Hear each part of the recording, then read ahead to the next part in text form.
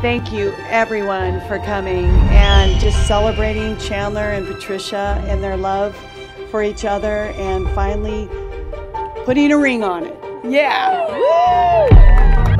Thank you for keeping her spontaneous, adventurous, and for supporting her in every way. May God bless you with His grace and may peace be with you both and with all of us.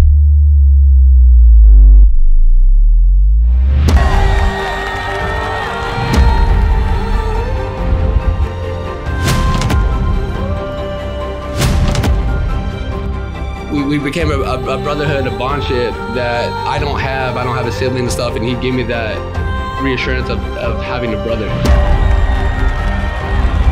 I promise you faithfulness and patience.